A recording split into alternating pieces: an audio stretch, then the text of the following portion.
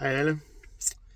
Jeg er blevet udfordret af Kasper på at lave en, en opdatering på øh, Diamond Ridge Club i forhold til, hvor jeg var, og hvor jeg er kommet hen, og hvad for nogle mål jeg har gjort mig, og hvad for nogle mål, som jeg har opnået.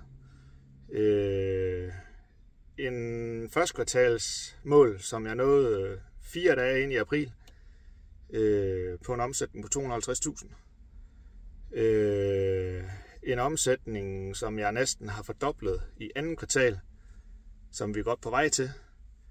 Øh, ja.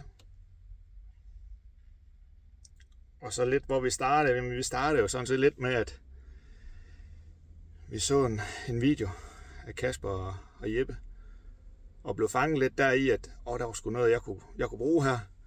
Og igen, åh, det var godt nok mange penge. Øh, så alle dilemmaer og fordomme og paradigmer, de skød op i mig. Det var sådan helt, det kan du bare ikke gøre det her. Det, det er simpelthen for mange penge. Og alligevel så valgte jeg at hoppe ud i det. Og det har, det har ændret fokus på, hvad man skal, og at man ikke har mindre effektive timer det, det har hjulpet til at strukturere hverdagen, sætte det op, så der er noget, der hedder arbejdsliv, familieliv, øh, mig-tid.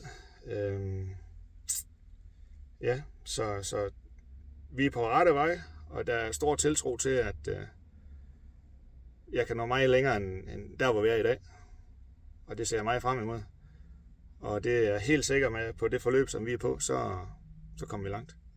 Så det var lige en, en første opdatering fra mig live.